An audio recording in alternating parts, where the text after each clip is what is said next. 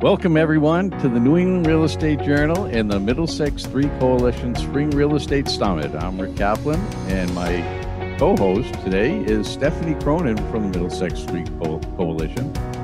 Uh, I should mention I'm Rick Kaplan from the New England Real Estate Journal. I'd like to thank our sponsors for today, our platinum sponsors, Riemer and Braunstein, Lahey Hospital and Medical Center, our corporate sponsors, U.S. Pavement, oh, we gotta go back, uh, U.S. Pavement, the Gutierrez Company, Windover Construction, Ultragenyx Pharmaceutical, Northmark, Windover Construction, I think I mentioned them, USCB, uh, Erland Construction, Northmark, and Allen Major, Allen and Major Associates and Mogul Architects. And this is a little about our partner, Middlesex 3. Anyone that wants more information can contact Steph or Stephanie. And our opening remarks will be from Sarah Stanton, the town manager of town, the town of Bedford. A little bit about the town of Bedford and what's going on there. Great. Uh, thank you, Rick. So, good morning, folks, and welcome to virtual Bedford. The weather is glorious. Things are well.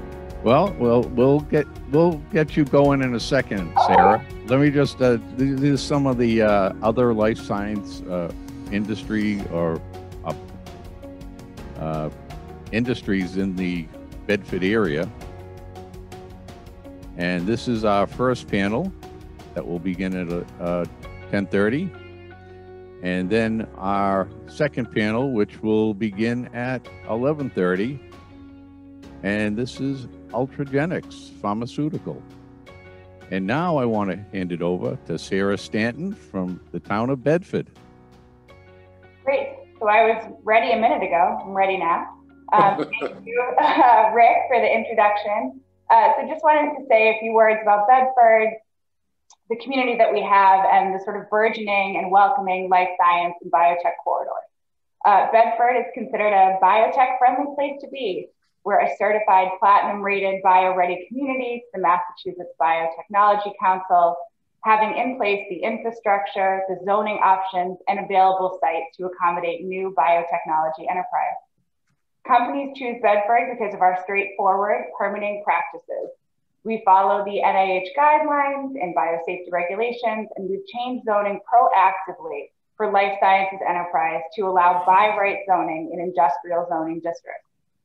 Companies choose Bedford because of the already established and diverse culture and cluster of life sciences companies, including biopharmaceutical companies, medical device companies, and now biomanufacturing with Ultragenyx also benefits from being close to Lahey Clinic in Burlington and their world-class medical systems. Uh, we're especially proud of most recently our new B2 Life job training program that we launched with our friends in the town of Burlington. Uh, the training program offers free training to those interested in starting careers in life sciences and healthcare. Bedford, if I don't say so myself, has a fantastic permitting team uh, led by our economic development director, who you'll hear from later, Alyssa Sandoval, that works closely with companies to get them started right here in Bedford. Uh, I'm sure Ultragenyx will attest to this, that when they were interested in coming to Bedford, Alyssa and I met them on the side of the road in the middle of winter to tell them how great Bedford was, and it worked out well, and they're here now. So we really appreciate uh, the opportunity to share the good work being done in town and for Middlesex 3 for hosting this forum. So thank you. And I went out a, a little out of order uh, because I, I was going to introduce uh, Stephanie before Sarah, uh, but I could tell how excited she was about what was going on in the town of Bedford. So now I want to introduce Stephanie Cronin of the Middlesex 3 Coalition. Yeah, not a problem, Rick. Thank you. And, and it's always a pleasure working with you guys. I do want to have um, two things I do want to uh, mention as well, too, though, is our second panel is not starting at 11.30, it's starting at 12 uh, because we're going to be doing a virtual networking in between as well too. So hopefully um, people can stay tuned and, and get back on screen um, to, to talk during that. The other is um, we are waiting for, for Jeanne LeClair from uh, Mass Life Science Center to, to join the conversation as well too. So if you see somebody else popping on screen, that's going to be Jeanne joining us. So, um, but but um, but again, thanks Rick for for helping to put this event together. Um, for those of you who don't know the Middlesex Three Coalition, we are a regional economic development organization which brings the private and public sector together to help address those business development concerns like uh, transportation, workforce development, infrastructure, real estate development. Um, and that's really the extent of the pitch that I want to give today, um, except to say um, that we do events throughout the year um, to, to promote our members, to promote the region. We have a small staff, um, but we really have a lot happening. So what we're going to do is really just, instead of going into detail, we'll put the information in the in the chat box about the coalition. Um, but we will ask if you could follow us on Twitter, LinkedIn, or, or subscribe to our newsletter. And again, we can put that information in the chat box um, and that way we can give you more information in real time. Um, and one other thing, we are a membership-based organization. Um, so I want to thank our, our members for your support throughout the last year. Um, if you're not a member, we'd love to have you as a member and we'll include that information as well too. Um, and if anyone's interested in participating in future events, whether they're virtual or hopefully in soon in, in person, um, we, would love, uh, please message me, e either chat, email, LinkedIn, whatever. Um, so with that, Rick, I think this is our fourth or fifth year doing these events together and it's always a pleasure. Um, but we wanted to take a different focus this year and really focus on life sciences and what are the building blocks um, to, to attract and to grow life science and, and biotech companies and the impediments and the opportunities. And, and as Sarah said, there's a lot going on in, in Bedford. Um, a lot of great life science companies, a lot of great companies that are coming and expanding. So obviously Bedford's doing something right. Um, and so we're going to discuss all of this during, during the panel discussion. Um, so um, with that, um, Rick, do I hand it to you, to Bob? Let's, let's get this conversation going. Okay. Well, I think, uh, you know, I'll just say a couple of words about the New England Real Estate Journal, that if anyone has any uh, or is interested in any information about what the New England Real Estate Journal, they can obviously contact me or contact anyone at the New England Real Estate Journal and you can find us on the web. Uh, and I do encourage everyone to also become members of the Middlesex Three. And we have been partners for, I think, four years now, and we've been doing these. So I want to thank uh, the Middlesex Three for all they do to partner with us. And I also want to thank everyone for attending today. And now I want to introduce Robert Buckley of Riemer and Braunstein. He will be the moderator for the first panel. I hand it to you, Bob. Thanks, Rick. Uh, good morning, everyone. Uh, uh, Bob Buckley, Riemer and Braunstein. I head the land use uh, development uh, practice at uh, Riemer and Braunstein, along with my partner, Mark Vaughn. Um, I've also been, I was there in the beginning, Stephanie, at the start of Middlesex 3. I'm on the board of directors as well as vice president. Um, I, it's an exciting panel today. We have Reid Joseph from Redgate, a major real estate developer. Dr. That's right, yeah, perfect. Um, who has told us that we can call him Dr. Zoe, or Zoe.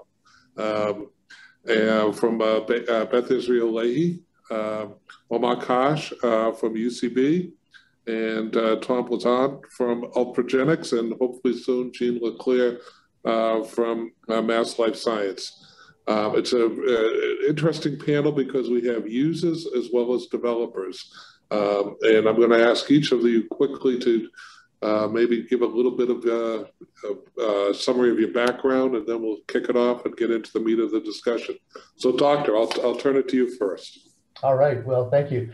Um, it's first of all, it's a great pleasure to be a part of this uh, distinguished panel this morning. I am uh, chair of uh, neurosurgery at uh, Lahey Clinic and professor of neurosurgery at Tufts uh, University Medical School and again, uh, just delighted to be a part of this, uh, very involved in clinical trials and uh, clinical research here at Lahey. Great. Tom? Good morning, uh, Tom Lauzon, uh, Vice President of uh, Manufacturing at Ultragenyx. And I've been with the company for about four and a half years. we're building our first manufacturing facility in Bedford, so very excited to join the panel. Great. Ona? Hello, everybody. Onur Kash. I head up the gene therapy vector core in our discovery organization uh, at UCB. Uh, I have been in the Middlesex 3 area working uh, for the past 15 years or so. Uh, so uh, thanks for the invite today. And uh, Reid. Good to see everyone today. Um, Reid Joseph, Executive Vice President at Redgate, a real estate investment advisory firm headquartered here in Greater Boston. You know, most importantly and recently, we actually bought a Class A office building here in Bedford, Hunter Crosby Drive, and we're repositioning the building and the site into a large life sciences and manufacturing campus. So we're excited about it and appreciate being a part of the panel. Great, great. Well, let me kick it off. Uh, something that I get questioned about a lot from uh, clients as well as those in the uh, municipal or governmental sector. Uh, as the footprint of life sciences, and we'll get into maybe a differentiation of what those components are, expands, um, we have users uh, as, as well as developers. What are the criteria um, that, uh, let's, let's start with you, Reid. When you look at making an investment in the Middlesex 3 corridor, in particular uh, in Bedford or other uh, communities, what are the what are the boxes that you look to see that you can check before you make that investment? You know, I think uh, uh, one of the biggest is just understanding the users and the tenants out there, and it's great to be on a panel with a couple of them. And the labor pool is so important, so critical to what these companies are doing, and wanting to be in an area that has good access to labor in a in a highly competitive market. So I think labor is one, and the other is commitment. I mean, I think we've uh, jumped into this and we're committed to life sciences here, but you're in a town and an environment and a community that is committed to it. So I think that commitment, both you know, on all fronts, is an ex- is ex- exciting to kind of bring all this all the pieces together for an investment. Um, maybe we'll, we'll, switch to Tom as a user. Um, what are the things that you look at when you make that decision to locate here?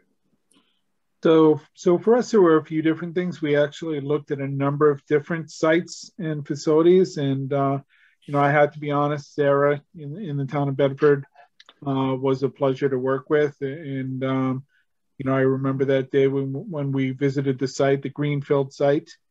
Uh, so, you know, it was clear that they were going to work well with us to to to build this manufacturing facility and I think you know again it's people, people, people. So employee mm-hmm. development, uh, attracting and retaining the employees that we need to to, to this facility is is critical. So those are the two areas that I would focus on. Right. I'm going to make a shameless plug for Middlesex Three here.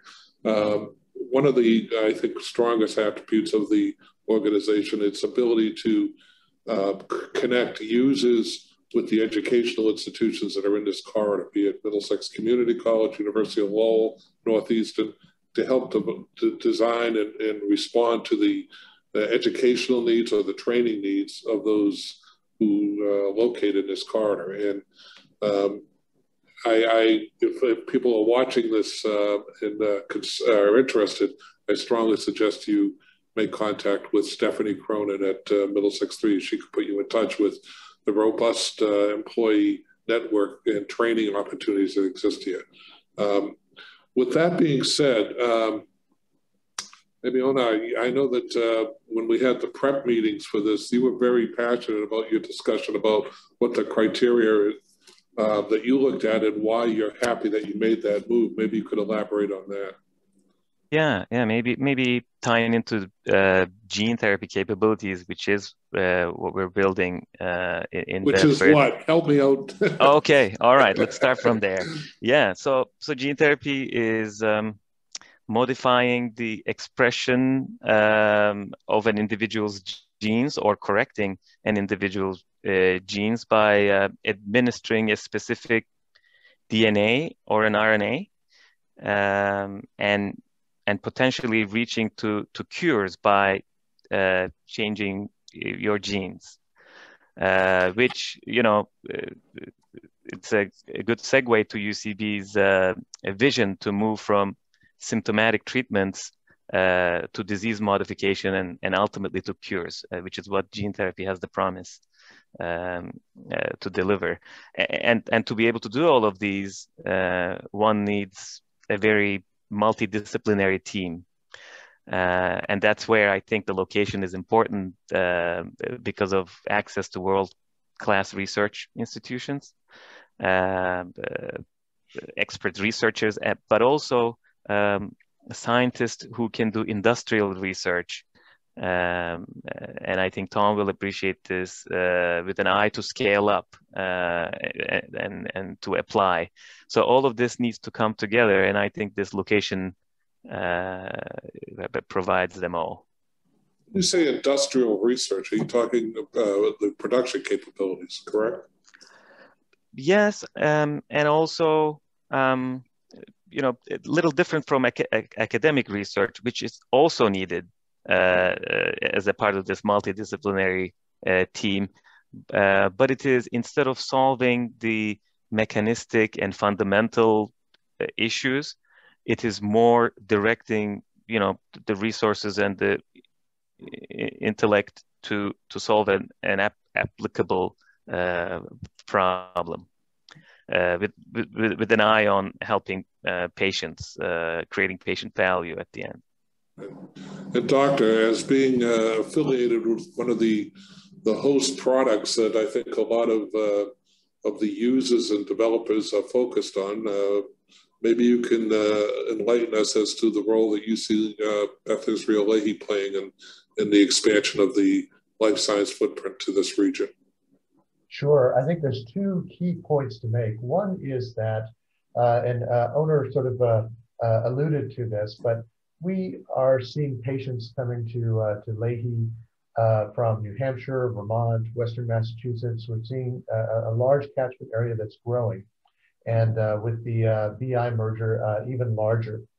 And patients are increasingly uh, coming uh, to uh, BI Lahey looking for access to clinical trials. And that um, requirement or need for patients is very, very important to us because we need to be able to recruit the right physician scientists to the institution. And I can tell you, I've been at Lahey now for about nine years, and seeing the growth in life sciences in the uh, in the Middlesex region has been really, really important. Uh, it's been very helpful for us to be able to recruit the right people. We're in the process of recruiting uh, a brain tumor surgeon from MD Anderson, who's going to bring his young family here and, uh, and and settle in this region. And one of the things that's attractive is the ability to network and communicate and build research programs for patients with the uh, life sciences uh, companies that are located in this region. So it's very, very important to us. I'm going to throw this, uh, hygiene, um, from, from the state standpoint, um, the recruitment aspect, I mean, do you see um, in, a, in what role that uh, from a macro standpoint, uh, to recruit the talent to leave the inner core, the Kendall Square, to come out here. It, do you get questions a lot about what's out there, and, and, and how do you assist in that in that migration? Yeah, abs- absolutely. Thanks for having me, by the way. Um, definitely. What one of the things that we do is talk to companies all day long. Companies we're trying to recruit to come to the Commonwealth. Companies we're encouraging to expand here. Talent, the labor pool is always the first topic um, that we talk about. And I do find that moving to the west, the options are are increasing, and we're seeing some great hubs popping up in Worcester specifically, as well as in the Northeast and the Southeast, Central Massachusetts. Um, and I think the the most attractive part of the Commonwealth in general is this multivariable regional approach that we can take to the growth in life sciences. It really isn't just the Boston, Kendall, Cambridge Center. We've seen that expand, particularly with the increased access to transportation infra infrastructure, the increased responsiveness of other municipalities that, that want to offer TIFs, that, that want to encourage companies to come. We're seeing this sort of spreading because we've seen the good ideas play out already. And so I think other municipalities and other regional entities, Middlesex 3 has done a great job, um, I think, of marketing its area. And I think the more that that, the more that we see that sort of scaled and mirrored across the Commonwealth, the more that we'll be able to replicate some of the success that we've seen in the life sciences growth over the last 10 to 20 years. I know in the prep discussions, there was a lot of focus on um, getting transportation to and from the, let's say the, the city core out here. Um, um, another plug for Middlesex 3 is Middlesex 3 has been at the forefront um, early on, starting its own transportation management association. So those on the uh, on the uh, webinar who are thinking or are located here who are desirous of uh, enhanced transportation should again make contact with Middlesex 3. Um, let me ask a question. I'll throw this up as a jump ball. Do you find any resistance as the footprint expands, um, either from a user or a investment standpoint, to consider the Middlesex 3 corridor? I mean, when you try to convince someone who perhaps has a need in Kendall Square or Arlington or or Watertown to look at this corridor, is there resistance? Do employees uh, complain about coming out here? I can jump in. Um, uh, you know, as as we are expanding and uh, interviewing different candidates, um, you know, depending on where their personal life is, uh, I have seen um, candidates prefer to be outside of the uh, the city. Um, uh, you know, so this Bedford area, because of the the schools systems that, that it has to offer, comes up as a as a positive uh, in my experience. Good, good. Yeah, I I would echo that. I, I think from our perspective, and we were out in the market and talking with potential tenants, and we're hearing more and more that you know there's more interest today than there was three months ago, six months ago, a year ago. Despite you know the life science cluster has been here for a long time, but we're hearing more people excited about um, being out here in the region in Middlesex 3, kind of in this corridor, both from, you know, where, where do people live and want to work, what's easy to get to, the TMA, the shuttle service that does come out here for people that do live within the city. Um, but I think more, people are more and more feeling like, you know, they're actually honing in on places like Bedford. I want to be here, which is exciting.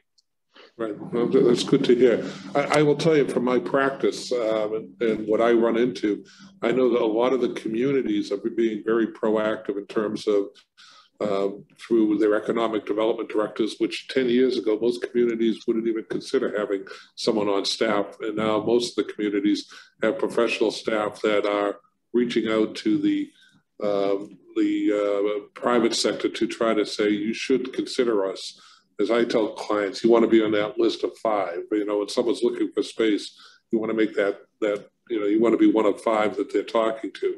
And I think we're finding uh, that a lot of the communities along the Middlesex Three corridor are achieving that objective. Um, but one of the things I've noticed uh, is that the rapidity of change, just listening to some of the discussions here uh, in terms of how the industry is changing, evolving through efficiencies, discoveries, need to ramp up for production, uh, that some of the regulatory scheme has not kept up with the with the desire to establish and, and grow, and it's difficult given uh, some inertia that people are, are, re, are reluctant to change.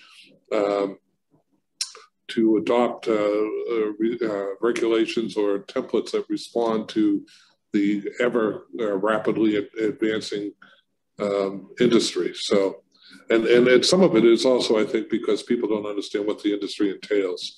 But I think we're, making progress through seminars like this, or webinars like this, or public discussions. Um, the uh, the other thing I, would like to throw out there for maybe users as well as as uh, developers um, is anyone encountering or had any uh, issues with respect to the uh, existing and projected infrastructure capacity. You know, from a manufacturing, I know Tom, maybe you can. Yeah, no, no, I, I wouldn't say that's the case. And, and again, I think, uh, you know, for us, especially working with the Gutierrez company, working with the town of Bedford has been, uh, you know, especially, you know, it's a great relationship. So I think everyone, from my perspective, has been very supportive of that. Mm-hmm. Uh, anyone else? Yeah. yeah. I'll just hop in uh, just because you talked about um, the different communities and sort of the regulatory stuff. I feel like some of my previous life was in economic development, community development for small towns. Mm-hmm. And I mm-hmm. think it's good to keep in mind that it's not that every single town is going to host life sciences or biotech. It's that you're creating these small hubs that are doing great. Lexington, Burlington, Bedford are their own very strong cluster right now that even international companies I talk to are aware of. Um, and that's because they've done such a good job with recruitment. So it's not that you need every single town to be fully up, upgraded and ready with all the infrastructure and, and the support from the planning boards to, to redo their bylaws or anything, but you've got these really strong clusters. And I think building on those as they sort of grow out um, is a, a better recipe for success than trying to make sure that every single town has, has bylaws that will allow life science or biotech. Well, and I would I would echo that. Um, I think that uh, Reid, uh, one of his partners, uh, the former Secretary Bialecki, uh, used to always say that every town will identify what's in their best interest and pursue it uh, accordingly. So, not as as you say, every town is not going to be a life science hub. Um, but I do think, and this is where this, I, in the last 10 years, been a dramatic shift in thinking, is that while a community may not have the infrastructure or the, or the desire or um, the, uh, the landmass or the opportunity to participate in that sector, they also could participate in other, word, uh, other ways, such as housing opportunities. Employees have to live somewhere. Um, and, and all of those things are interrelated and lead to a vibrant economy along the corridor so that you know, it's it's who are who is the what is the community? Who do they they desire to attract, and how do they integrate it with their with their neighbors? And that is a different way of thinking. It's no longer the fiefdom mentality that 15 years ago may have existed. That uh, everything stopped at the border of the local of the local community. Now they see how things are are connected.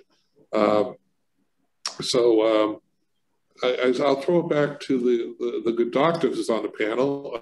Um, what do you see going forward? If you had to look in your crystal ball, has the pandemic or the the the, the exodus of uh, this um, uh, industry out of the city uh, to the suburbs, particularly the Middlesex Three Corridor, changed the way Lahey, uh, uh, B.I. Lahey is looking at uh, the world today?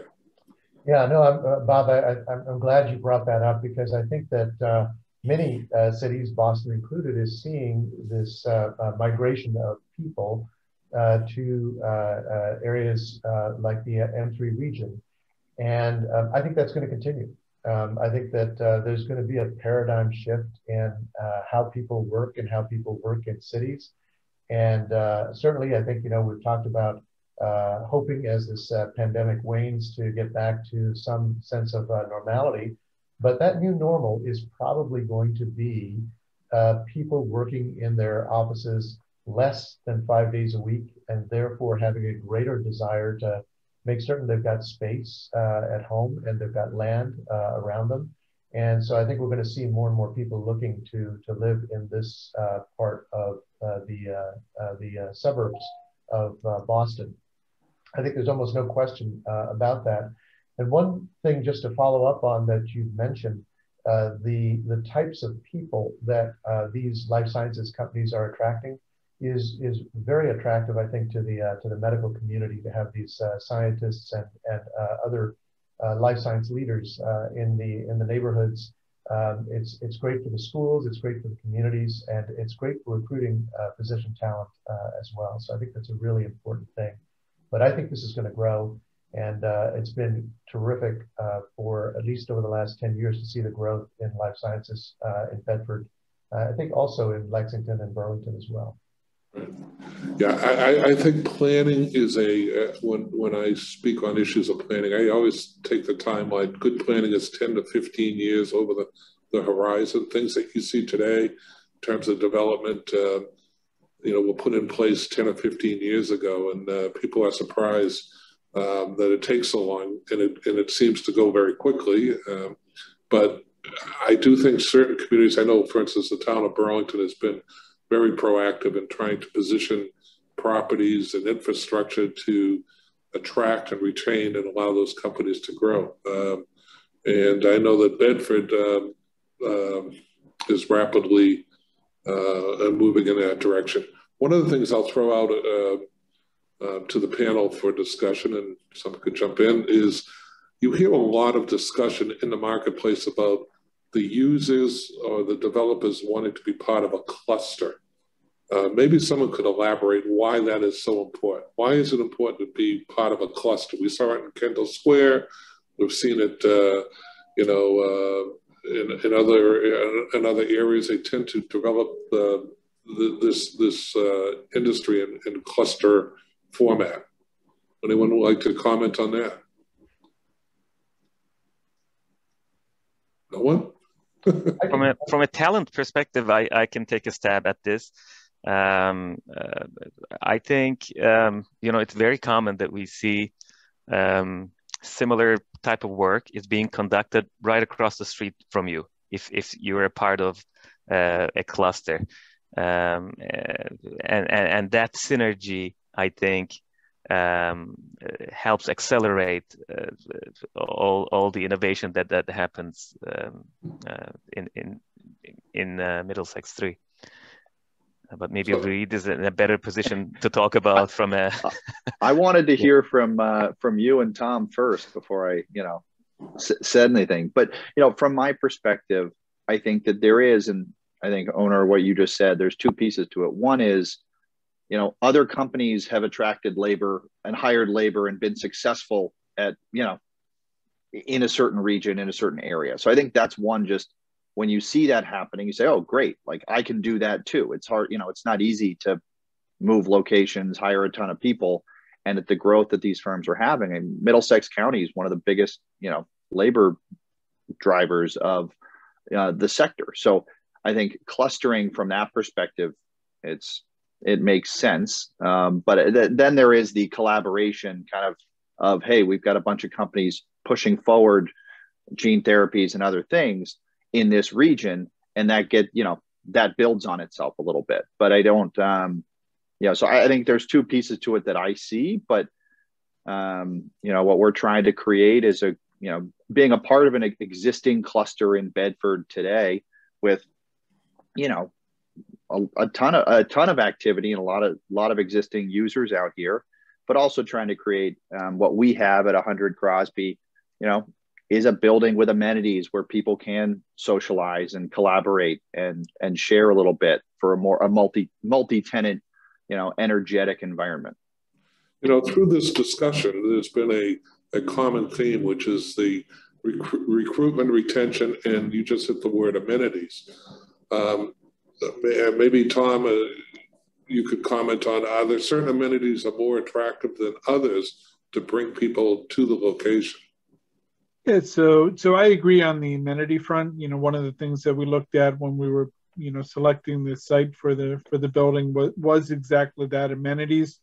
It was uh, restaurants, it was gyms, and, and attracting you know if you will a younger uh, talent pool to the area especially was important for us. So so those are the things that we focused on. Yeah hmm. absolutely.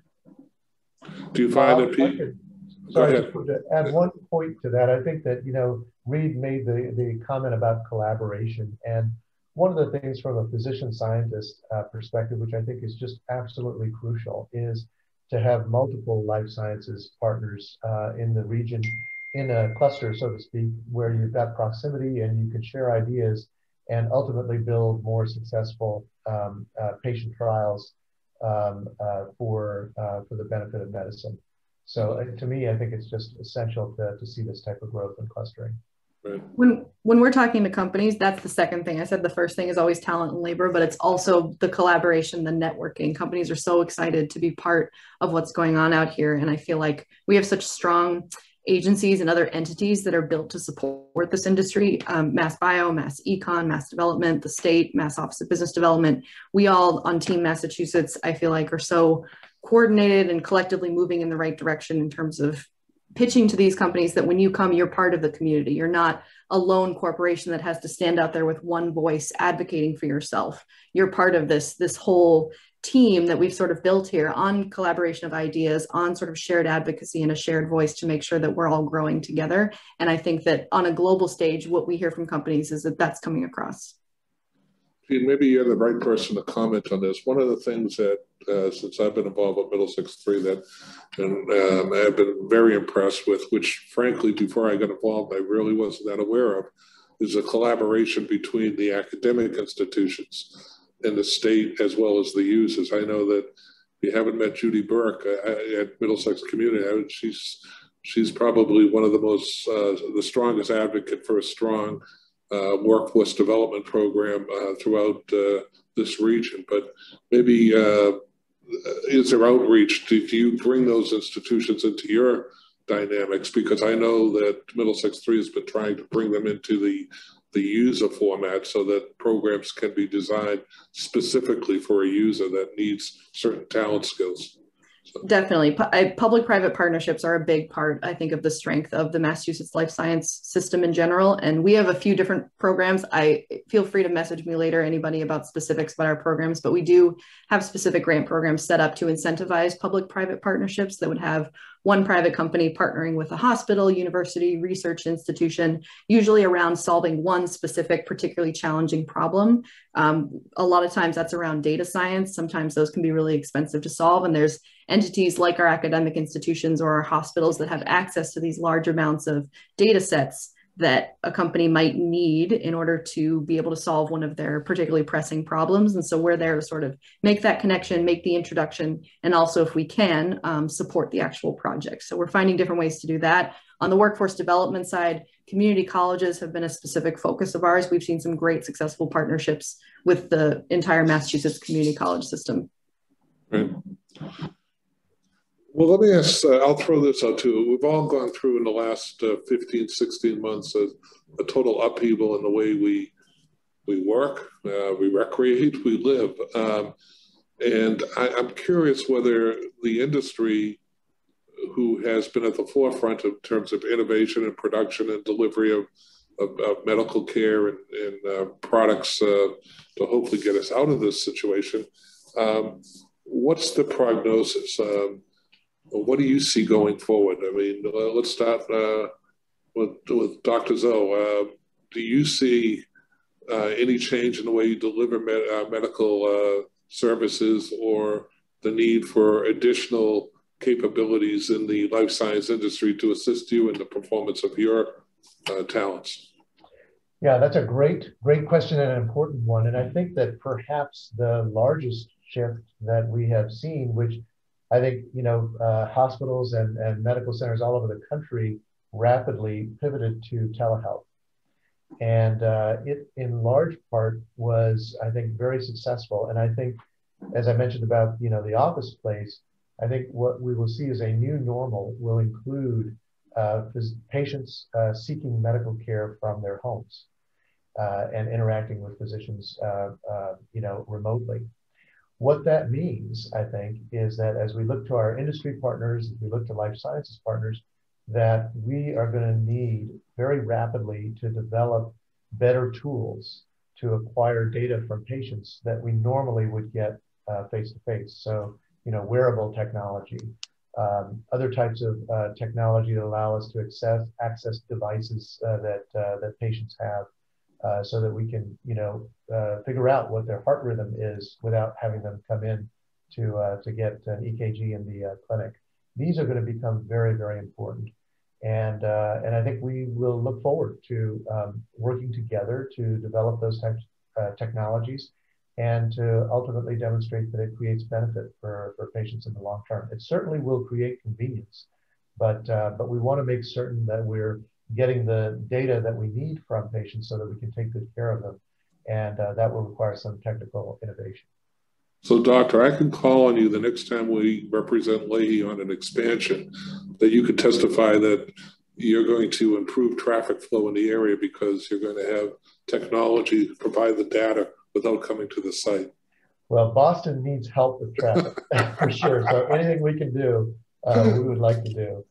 All right, all right. Um, and that Bob, that's one of the things that I mean. I think you we touched on it earlier, just from you know telehealth, you know commuting, how many people are going into the office, how many days a week. I mean, all this is still playing out live. But the life sciences industry, I mean, can't go remote full time, right? I mean, these people need to be in labs and um, that's one of you know interesting as you think about where you want to be, but also I mean, I mean they need the real estate um, in a way that you know I know office and other areas people are still trying to figure out right how many days do employees want to be in, but the life sciences industry need needs to be there. No, that, that that's true from a manufacturing perspective. You know, clearly you're going to have staff full time, three shifts, uh, you know, seven days a week. Uh, the the other consideration is is for me, um, you know, the pandemic has put uh, a lot of strain on supply on the supply chain side. So I think you're going to see you, you're you're seeing longer lead times for equipment, longer lead times for materials. Thus, I think being able to store these materials offsite is going to be important in having warehousing offsite, cleaning services that specialize in in, uh, in viral, you know, decontamination, things of that sort, uh, as well. Yeah. You know, in my practice, I've already seen a demand for uh, logistics or offsite uh, warehousing of, of uh, not just delivery and distribution, but uh, also for product for users. Um, um, they want to have the, the their prime space dedicated to research and activities. So, uh, let me throw another one out, another question, which is uh, if someone could talk about the relationship between the the emerging industry out here, and the growing industry, and the clinical trials. I suppose that Lahey, play, uh, Beth Israel Lahey, uh, plays a major role in the clinical trial aspect because it is a, a, host location to conduct those trials. But um, I don't know if anyone can comment on what what is being developed there, or is that a critical component of coming here? Clearly, in the city, it is, but clinical trials being uh, expanded, and uh, uh, are the users uh, trying to capitalize on that expansion? So maybe I could speak to that first. Um, I think there's no question that uh, more and more patients are seeking access to clinical trials uh, here at Lahey in uh, Burlington, and uh, and that's a um, uh, uh, a need that we are filling, and we're filling by recruiting talent here, by developing relationships with um, companies in the region to uh, to uh, develop clinical trials that that are very meaningful. One other point that I think is worth mentioning is that as we think about clinical trials, um, we are starting to think about these uh, things from a more patient-centered uh, uh, perspective. And that's something that I think Lahey in particular has really focused on. And so when we talk about, you know, gene therapy or we talk about other new biologics and so forth, more and more patients are very concerned about uh, you know they want to have their disease treated they want to have their disease managed but they're increasingly interested in what does this new treatment mean for me? What does the safety look like? What is my activity going to be like? What's the surveillance like? And so forth. And so we've involved patients uh, very much in uh, the design of these types of clinical trials. And uh, we aim to do that more and more so that the information that we generate uh, from doing these clinical studies not only helps us understand which treatments are the most effective, but what effective means to individual patients because it means different things and we need to pay attention to that.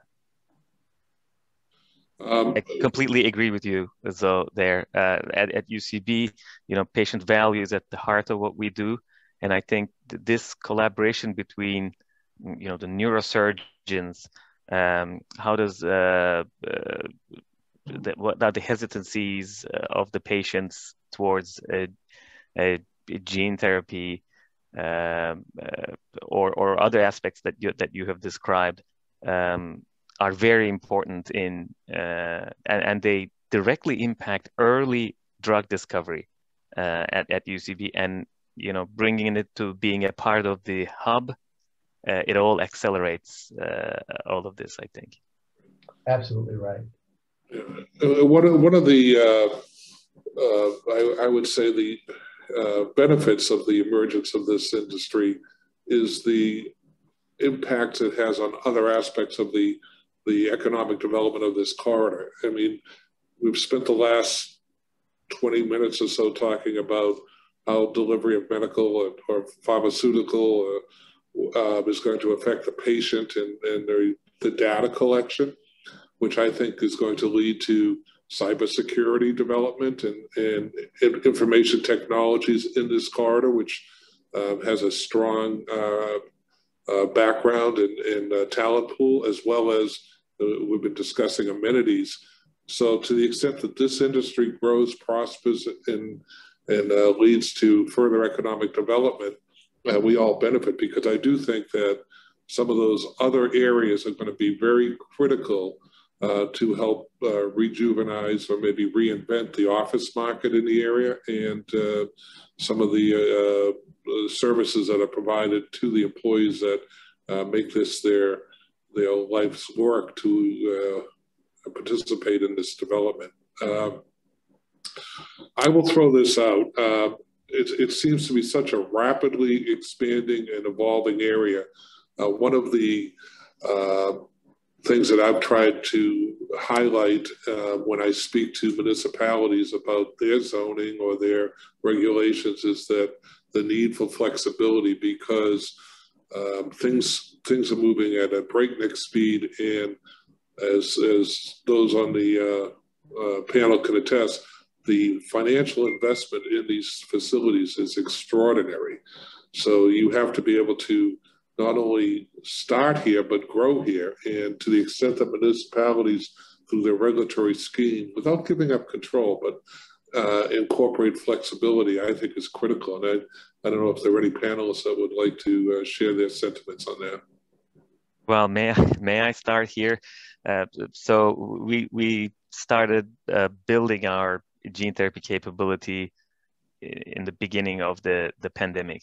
And um, you know, uh, the, the, the, Sarah Stanton's teams uh, at Bedford, they really understood the situation, adapted, and um, you know, incorporated these virtual inspections and uh, in, included that flexibility to get us up and running in the middle of the the pandemic, which which was crucial. And I think Bob, you hit you you, you hit the the detail of you not only need to build, but you need to grow also um, in the same um, region.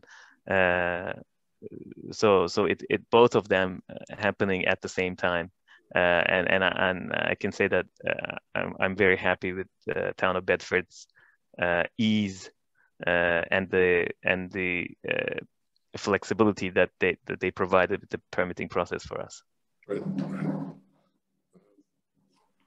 Yeah, I think. I mean, go ahead, Bree. Sorry. Yeah. And then adding to that, I I think echo the exact same feeling. I mean, we've come in with a an existing building that we're going to reposition, and um, for life sciences, and the town's been very encouraging, flexible, and they're committed to the vision as well. So not only what we need to do there, but in permitting additional development, additional expansion here, we talk about growth of these companies and growth of the sector, growth of the cluster and you know we're working to add additional density and the town's been um, very flexible in how they've been willing to think about this in the past.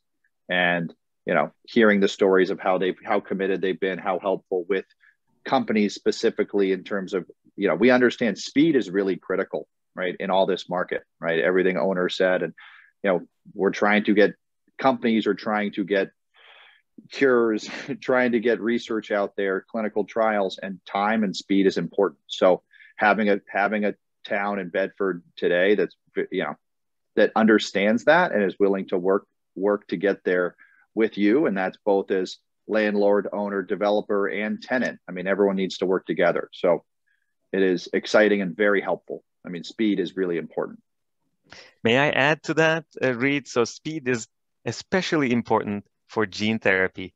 Um, uh, first to market is always important, but uh, if you really are trying to deliver the patient value, um, you need to be first uh, for for for this new modality uh, because uh, one promises cures, and you end up curing uh, the the existing population with the genetic defect very quickly.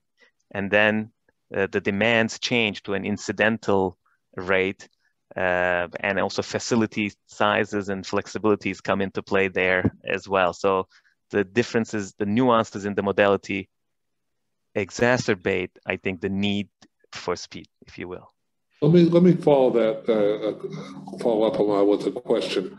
How does gene therapy manufacturing differ than traditional pharmaceutical or you know other types of uh, life science manufacturing?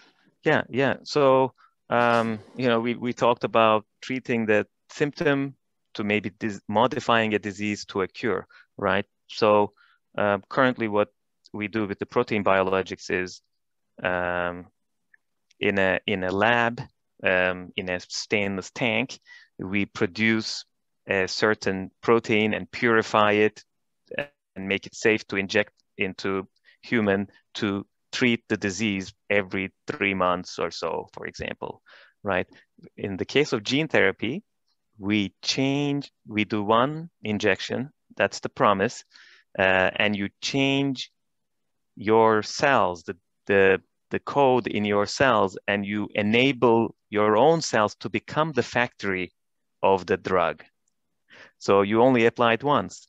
Um, this is the, this is a promise. Only a handful of them got approved, but uh, it's in the works. It's happening.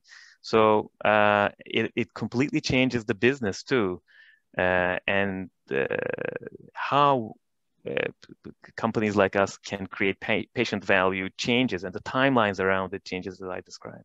And it's also important to recognize that all of these industries are very highly regulated because uh, both at the federal and state and local levels. So I'm supposed to ask you why you have the title VectorCore yeah. Yeah. Uh, so vector means um, vehicle actually. Um, so i know no one wants to hear about viruses but um, we are capitalizing on the thousands of years of evolution that the viruses have gone through to engineer viruses and use them as our delivery vehicle um, these are safe viruses that are not replicating and causing disease but um, engineered to to have the the this key piece of uh, genetic information uh, to deliver a cure. So vector uh, comes comes from there, and core is you know we're the specialists to to design and produce the vectors. That's, that's... Well, as we as we wind down on this uh, segment of the uh, summit, um, I'd like to each of you maybe to give a, a, a summary of uh, what you see your um, I don't want to say a projection, but maybe it is a projection, uh, how you feel going forward. And, and if you had one thing to ask uh, the region to focus on, what would that be? Doctor? I can. Oh, oh, oh no, go, Jeanne. I was just too excited to talk about this. Um, I, I'm so excited and proud of Massachusetts. I feel like the last year has been such a good year for ideas, necessity, mother of invention. Um, and I've just seen so much, we've seen so much innovation, particularly from small companies. And I, I'll point out, we first funded Moderna in 2011, and it was considered a risky investment. And they made the case, well, our messenger RNA technology might become really useful someday. We're not sure. We'd appreciate the support early on. Who knows? And seeing that pan out as a homegrown company from that investment has been, I think, evidence of the idea that sometimes it's a small company with a new idea, it's innovative, you might not understand it at first, but it's important that we support small companies and just not just try to attract the next massive global corporation to create 500 jobs in one town, but create this, encourage the small companies to continue to grow and expand here, because that's what we've already seen change the world. Great. Tom? Yeah, I, I completely agree with that sorry, I, I, completely agree with that. And I'd just like to add that um, one of the things that I think is, as I sort of look uh, to the future, is uh, how important it is to uh, bring uh, patients to the table um, on this. And I think the more that they see growth in the life sciences, the more that they see uh, investment in innovative technologies like gene therapy in their region, um, the better it is for um, all of us as we collaborate together to find uh, new solutions for um, uh, patient disorders. One of the things that uh, you'd asked Bob about the uh, differences between, say, gene therapy and um, you know other uh, life sciences and pharmaceuticals, and one of the things is patients. you know, uh, I consent people for neurosurgery, which is a scary concept for patients. But for patients to hear about their genes are going to be changed um, is a very scary concept. And I think we all have to work together to make certain that as we advance the science, we're also advancing the information and the education around what these technologies mean, um, how safe they are, and in fact demonstrating that they are safe, um, which uh, which I think we'll be able to do. The mRNA uh, vaccines, I think, are a great uh, example of that. This is new technology. This is making your body produce ultimately the proteins that would fight the virus, and uh, it's it's a strong step towards having the public have an understanding of what these new technologies can do for them. I couldn't agree with you more. I, having spent a number of evenings or meetings with uh, municipalities trying to permit a, a, a, uh, facility and the information that you have to um, provide so that people get a comfort level of what's going on behind those doors. That it's nothing to be fearful of, and there are controls. It's a highly regulated industry. But I think over the last 15 months, I think the educational level of, of most Americans has been enhanced. And, and I think that uh, the benefits of coming out of that understanding uh, are yet to be seen and appreciated. So, Reid, I'll throw it over to you. Uh, you know, I and you're asking for everyone's perspective as a you know developer and landlord in the region. I mean, we're committed to life sciences here in Bedford, and you know we've got a, a 300,000 square foot building that we're moving full steam ahead to reposition. So we, we look forward to continued growth of, you know, I, I like the idea, new ideas, new companies, um, and continued growth in this cluster. Uh, that, that's exciting for us um, across all areas of life science manufacturing, and it's exciting to see. Tom, any final thoughts? Or? Yeah, so so for me, you know, what excites me is really, you know, what had been what Zoher had said previously, patience. So we are, uh, you know, focused on patients, uh, a passion for patients, a passion for for people, and and I think, um, you know, when I look at gene therapy, especially just the explosion of growth over the last few years, especially, and, and I did want to touch on manufacturing. For me, you know what what's different or what's been amazing is to watch the growth from what essentially was manufacturing in plasticware to manufacturing in in 200 liter vessels and, even a 2000 liter scale for gene therapy which is which is uh, unique i think. So so seeing that growth uh, reminds me you know of antibodies 10 15 years ago and this explosion of growth is is really so exciting to watch and honestly, you know, building your own, your first manufacturing facility from a pharmaceutical pr- perspective, from a manufacturing perspective, is, there's nothing more exciting than doing that. And uh, really excited by that. Uh, my ask is is more from you know what had been said previously. People, you know, you had mentioned Middlesex Community College. We have a strong relationship with them. Employee development, training is especially critical to what we need to do. Good. You want to? Yeah, um, echo everyone. Um, I, I think with the pandemic, our industry being considered as essential uh, was the seal and you know the proof of uh, of, of that of that fact. Um, and I would say with um, uh, gene therapies, because of the reasons we've described, that you need the speed, but there's so many unknowns and uh, fundamental answers that are needed.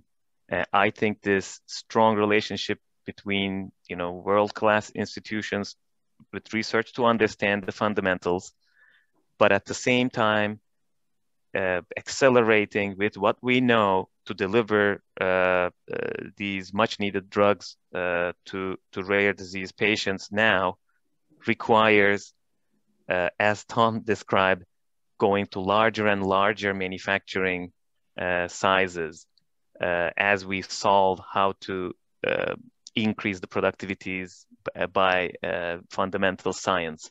Um, and there's no better place to do it because we have access to all here. I can't say it better than you just said it. So I want to thank you all for participating. Um, I'm going to turn it back over. I think it's time to turn it over to uh, to Rick and uh, Stephanie. Uh, but all I ask is you keep up the uh, the excitement in this area because I think we will all benefit from uh, the uh, growth of this industry in many ways. So uh, thank you very much. Thank you. I'm just going to jump in for just a second, Rick, if I could. And and you know, and I know that we went over our time a little bit, but honestly, I could have listened to you guys for another hour. And and uh, uh listening to you, there's a lot of optimism, but frankly, a lot of pride of what's going on in our region as well. Too. I know I'm a little biased, but really, there's a lot happening in this area. So, thank you for for coming for all the information. Um, Bob, thank you for for moderating. Um, Dr. Zoe Reid, Onur, uh, Tom, and Jeanne, I appreciate all your time. And, um, and Rick, I know I just jumped in in front of you, so I'm going to turn it over to you.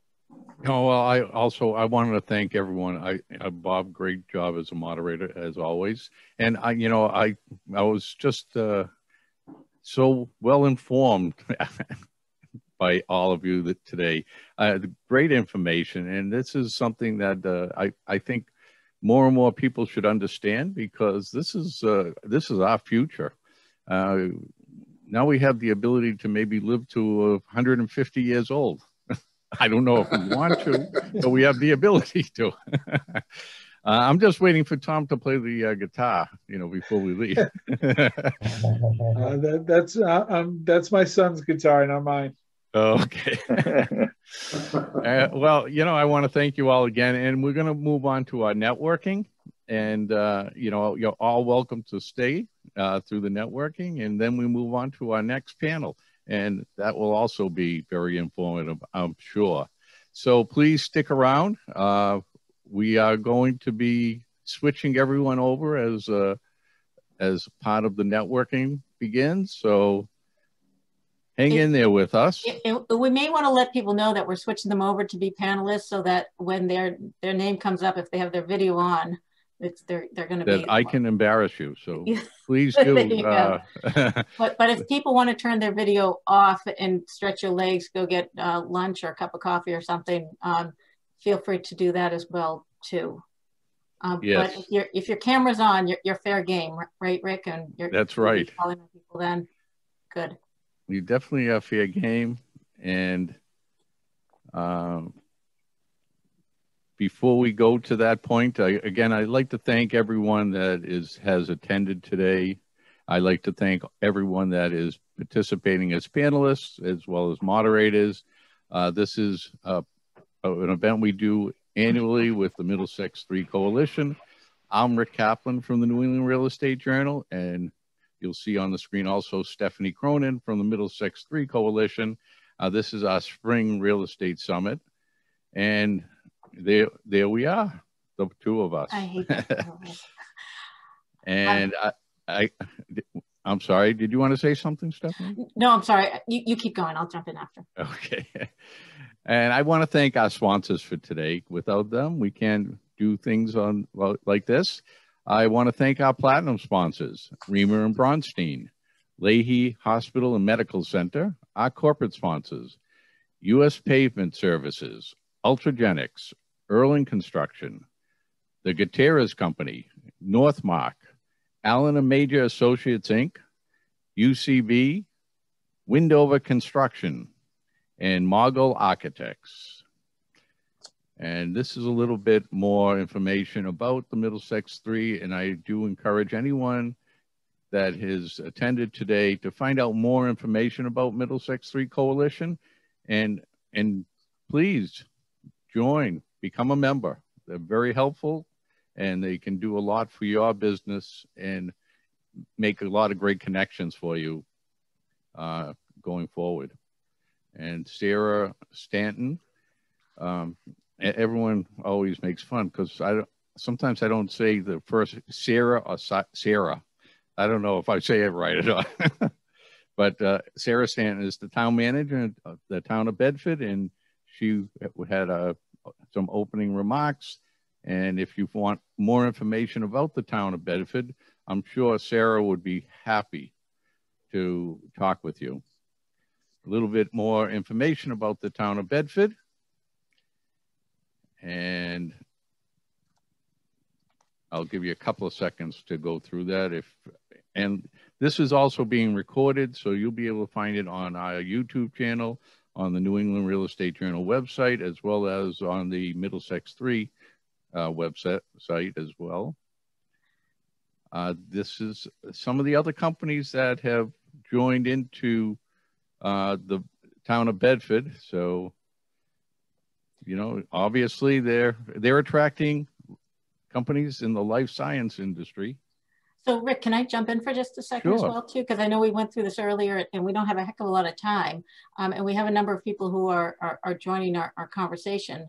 So I, I don't know if we need to be going um, put through, through the PowerPoint, but I'd, I'd love to hear from the people who are on the call, um, whose videos are up, because we still have our panel here as well too. I'd love to hear if, if anyone wants to jump in with feedback or not feedback, but questions or thoughts or just get the conversation going as well. Yeah, so. we're going to go right to that right now. And that's our next panel that will start at 12 o'clock. Okay. And, and anyone also, I know a number of people put their contact information into the chat box too, but please keep that going as well too. And we'll send that to everybody. This is our Spring Real Estate Summit, and the, most of you have been to our past uh, summits, and uh, we've always enjoyed great audiences and great speaking speakers. So I want to thank everyone for being part of this for so many years, as well as our partner, the Middlesex 3 Coalition. Uh, this is who's hosting it today. It's I'm Rick Kaplan from the New England Real Estate Journal and Stephanie Cronin from Middlesex 3 Coalition. Uh, these are our sponsors. I'd like to thank them again. Uh, platinum sponsors, Riemer and Braunstein, Lahey Hospital and Medical Center. Our corporate sponsors, U.S. Pavement Services, Inc., Ultragenyx Pharmaceutical, Erland Construction, the Gutierrez Company, Northmark, Allen and Major Associates, Inc., UCB, Window Construction, and Mogul Architects, or Mogul Architects. uh, and this is a little more about the Middlesex 3 Coalition. And we're going to move on. Uh, this is our, uh, our panel that will be coming up. And our moderator is Alyssa Sandoval. Sandoval. Uh, she is the Director of Economic Development on the town of Bedford. Did I say her last name correctly? Maybe not, but that's that's my uh, that's my thing. I got to screw up everyone's last name. so I want at this point I want to introduce Alyssa, and, and she will then introduce the panel. Thank you all again. Hi, Rick. Thank you. Um, I actually have to correct my first name as well as my last name.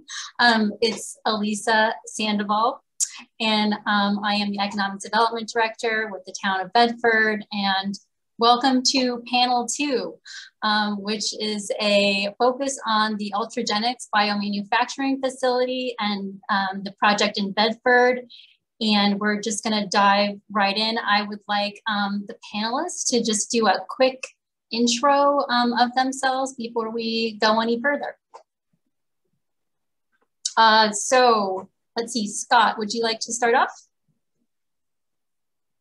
Sure, be happy to. Uh, thanks everyone uh, for joining. Thanks for having me. Uh, appreciate it. Scott Weiss from the Gutierrez Company. Uh, we are a um, uh, Burlington-based regional um, uh, real estate development and construction and property management firm. Proud to be working in, in Bedford, proud to be associated in working with Ultragenyx as well. So thanks for having me and having us here today. And Gil? Hi, everybody. Gil Stevens. I lead global engineering for Ultragenyx. I think Tom probably covered, you know, what Ultragenyx is engaged in, but um, just hit it once again. You know, we're, we're going after medicines to treat rare and ultra rare uh, genetic diseases where there's currently um, no existing therapies. And Peter? Yes, good afternoon. Thanks, Elisa, for uh, leading this. It's, it's always a thrill to be back with you and Sarah, as well as with Scott and the rest of the Gutierrez gang. That's uh, any kind of um, project, it's always sad when the project, uh, we are part of the project winds down. So my name is Peter Carty, and uh, I'm Director of Global Real Estate for Ultragenyx. I've been with the company for about 16 months now. And um, Lawrence, do, would you like Lawrence me to call you Lawrence or Jay? What's your uh, preference? We'll, we'll, start with Jay. How's that? Jay. Okay, Jay. So I'm Jay Sturdivant. I am a project executive with Erland Construction. I head up the uh, Advanced Technology Life Science Group. Uh, Erland is a 40 plus year old company. We have four divisions, uh, residential division, a, a uh, school and uh, business division, a special projects division. And then we have our advanced tech life science group. Great. So I think for our audience, I'd just like to, um, for the panelists to do a little overview of the project, just, um, you know, just kind of highlight what is this project, what is this facility, and then also what is the what is the need that it fills for you? Um, so ultragenyx gil or peter i don't know if you want to lead off on that one. Yeah sure. Um, actually for ultragenyx this project represented the first internal gmp manufacturing of our portfolio of gene therapies um, you know we have a real exciting uh, portfolio uh, a number of them currently in clinical trials and, um, you know, we really saw the need to internalize manufacturing to help us. Uh, I think in the first panel, folks were talking about speed, speed to market. Um, you know, this is something critically important to us because, again, we're going after these rare genetic dis- diseases where there's currently no therapies. So, the faster we can get these through development and commercialization, the faster we can help our patients. So, uh, speed is very critically important to us. Um, so having our own facility uh, with our own capabilities, with our own staff, really helps to drive that. And um, you know, we you know we are still planning on de- being dependent on the the you know commercial supply chain in terms of you know contract manufacturing, con- contract development and research uh, expertise, but um, really bringing it in house gives us a, a, step change in our ability to get get products to our patients. And Gil, I, I, think you maybe understated the, the gene therapy aspect of it. This is a, certainly a life science manufacturing site, but the gene therapy makes it a little bit novel, right? And I know that uh, from the real estate perspective, when uh, we were going through the process, negotiating with multiple landlords, with Gutierrez, et cetera, that uh, some of the major, major life science property owners around the country approached us because they have a hole in their portfolio. They don't have gene therapy manufacturing. So even though the even though they have tens of millions of square feet of life science space, they didn't have this particular kind of manufacturing. So all the more exciting for the town of Bedford and for Ultragenyx. Yeah. So the you know just scale wise, it's uh, you know about a hundred thousand square foot facility, a little bit bigger than that. And um, as I said, we'll have the ability to manufacture um, uh, both drug substance and drug product for our portfolio of gene therapies. And, and it, it was interesting, Gil, is that uh, we were interviewing people recently, and one of the candidates was from a major West Coast life science company and was bragging about the fact that he had just built a gene therapy manufacturing site. And when I asked him how big, he said 6,000 square feet. So your 100,000 square feet is off the charts. Wonderful. Um, Scott, did you want to add anything to that or? Uh, in terms of the uh, project itself, um, obviously we're, we're thrilled that um, Ultragenyx chose, you know, Bedford, chose Bedford Woods in our location here to, to um, uh, bring their facility online. So, and, and we're thrilled that the, with the partnership uh, with both uh, the town of Bedford, with you, Elisa, with Sarah, uh, and the team to to sort of uh, not sort of to get ourselves and this this site and the town ready to receive and be able to partner with uh, Ultragenyx and their team so that we could uh, help bring this this project forward. So great partnership uh, um, uh, process uh, throughout. Wonderful. Um, and just kind of thinking about the process of selecting the site. I know Ultragenyx you were looking, you know, for over maybe two years um, for a site. And from what I remember, you were looking at over 100 sites.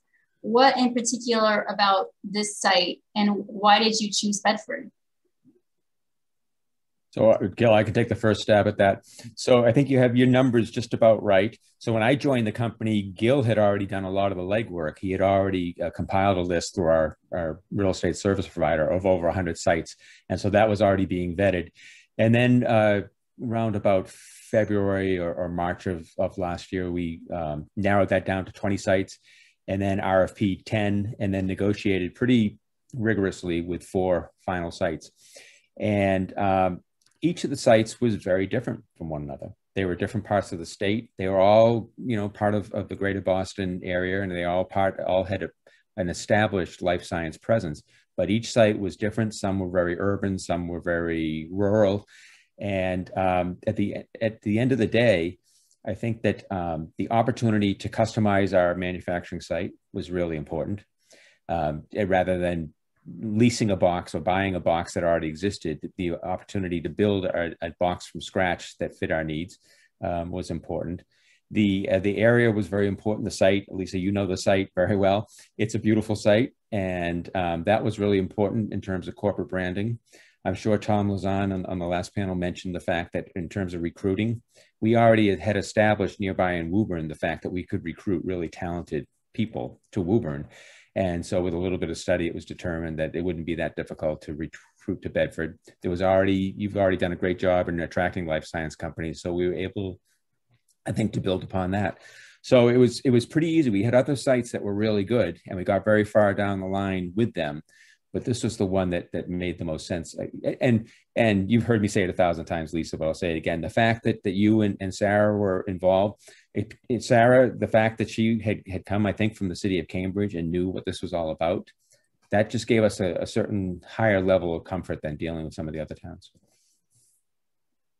Yeah, just adding on to that, you know, I think coming into 2020, you know, our business was, um, you know, we're fast growing business, uh, a lot of changes, and, you know, we really hit an inflection point where what our needs were dramatically changed at the end of 2019. So it really came into 2020, January 2nd, I think it was, where the gun went off, the starting gun for us in, in terms of that site search. So, you know, it, one of the amazing things to me over the, the course of this project, you know, from that January 2nd, 2020 to where we are now, um, the speed at which we're able to do it is absolutely absolutely thrilled me. It's, it's absolutely thrilled the rest of our organization, both here and you know our corporate headquarters, which are based uh, in the, the San Francisco Bay Area.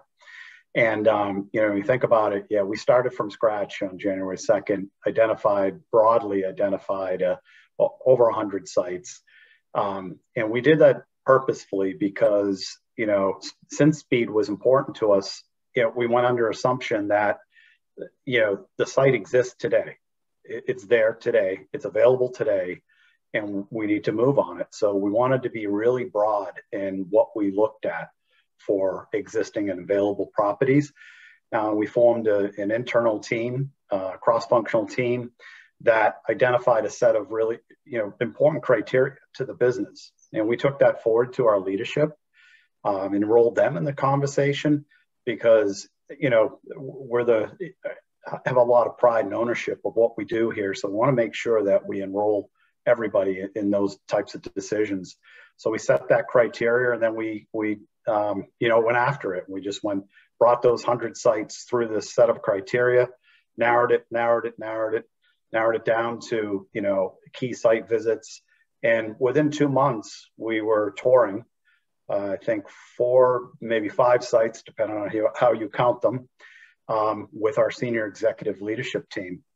And I'll, I'll never forget, it was February 24th. Um, we are out on the side of the road at Bedford Woods with the Gutierrez company, um, you know, Sarah, Elisa, and it, you know, it was probably one of the most compelling uh, parts of the decision uh, was the amount of support that was immediately there. And, you know, it's the side of a road looking at a bunch of trees, but, you know, really uh, promised a tremendous commitment to, uh, you know, what we wanted to do. And um, I, I think that's critically important for others and other communities out there that might be listening in today on, on the question of, you know, what can communities do? And I think that it was just phenomenal. And not just being there, very articulate about, you know, how the town was going to support us, how Gutierrez would support us, and how they would partner with our specific needs. So, um, you know, that was February 24th, uh, 2020. Um, about three days later, our entire company was quarantined. That was it. You know, so we went from, hey, you know, let's let's narrow it down um, from you know to four sites and and you know identify a preferred site to you know we're we're not going to see each other for we don't know how long. It turns out many of us haven't still seen each other, and um, you know I think it was almost a year to date, and I'll let Peter fill in some of the blanks between. We topped off steel on the new facility, so you know I think it was February 26th. Steel was topped off, so you know I went from a greenfield site to meeting the Gutierrez company meeting the town of Bedford for the first time to having steel topped off. I mean, it's just phenomenal. And, um, you know, the, the whole company is really thrilled with, with the, our ability to, to, to pull that off as fast as we did under the conditions we're all working under. Exactly. Exactly. And just to add a little bit more, just on the transaction, Gil, we went um, from negotiating four, you know, re- really detailed lease proposals, right? And that was in June and then all of a sudden we flipped over to a purchase arrangement and we had a, a, letter of intent within six weeks of that and then um, we closed in november on the site so even that part of it was was really condensed and it was only because uh, Gutierrez was willing to to help us accelerate the process. Really, I mean, we would not have been able to do that had they not been as invested as we were. So I think you know already we're you know we're eight, 20 minutes into this, and we've already emphasized a number of times the importance of the town and the importance of the partner, Gutierrez. Yeah, um, I want to. Oh, go. I'm sorry. Go ahead. No, I was just going to uh, jump in a, a little bit in, uh, on on the heels of that. Uh, um, I guess we were lucky we were meeting outside on the side of the road at the time we did, so we didn't have a super spreader event uh, um, for meeting at the site. Um, but uh, I, Peter, you've already mentioned, you know, the the value of the partnership, and we really appreciate that and appreciate working with you guys. Doesn't mean it was always easy. It was there were hard negotiations along the along the way, but uh, the idea of partnership, and I, I, I sort of see sort of three major components. There was certainly partnership, um, there was preparation, and ultimately, as as Gil, you were talking about, you know, steel topping off. There's performance.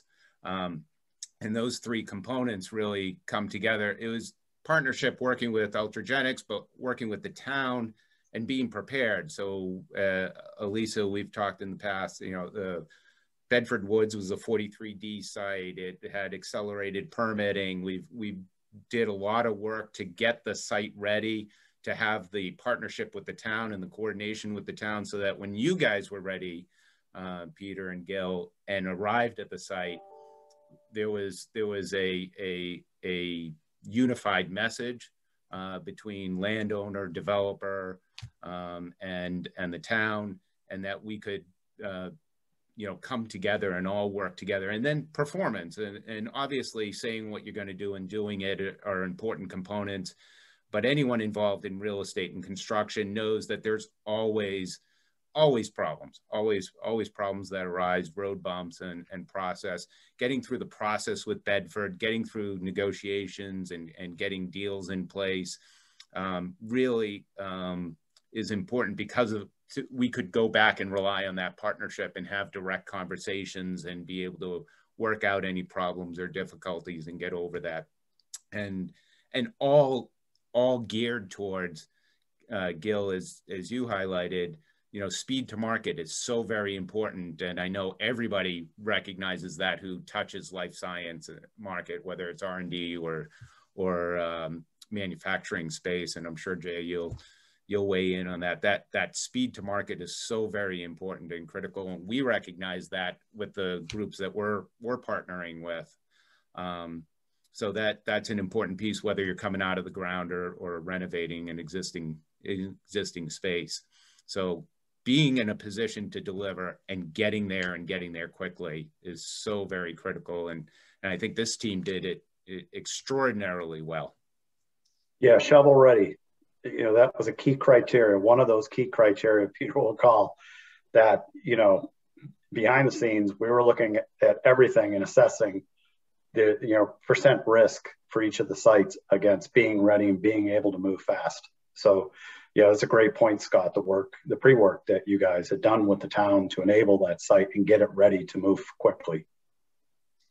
And um, you know, just for the audience that might not be aware of the the different tools that we use um, for this site and really getting prepared was the the site was already pre-permitted for um, for development of you know up to 180,000 square feet that was already pre-permitted and the site was recently designated a Chapter 43D expedited permitting site um, for the town. And that is a special designation process through the state. We worked with Gutierrez to um, get that designation. And so I think it just speaks to uh, it speaks to the fact that we had done all this work before to have it shovel ready um, when Ultragenyx expressed interest, which I think proved critical is what I'm hearing.